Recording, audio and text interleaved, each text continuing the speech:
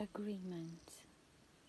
Imagine just for a moment that we are all connected, all different streams of consciousness originating from one source, experiencing and playing upon this physical earth plane in all its shadow and light to develop, grow, and become more.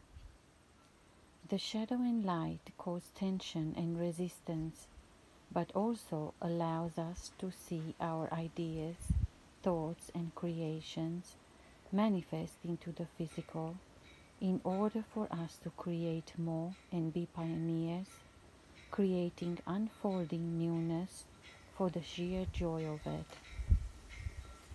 It would seem reasonable that in our connectedness we would sense anything out of balance the natural order of the universe has all things moving back into balance in whatever way possible.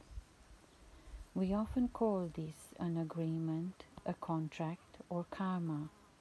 But can you see these labels may not be what we think they are?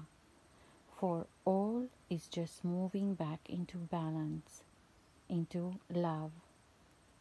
So whether your attention goes to your family, friends, work colleagues, someone you bumped into, someone you observe, someone you admire, or someone you dislike, we are all in a contract, an agreement with each other to remind us of the love that we are.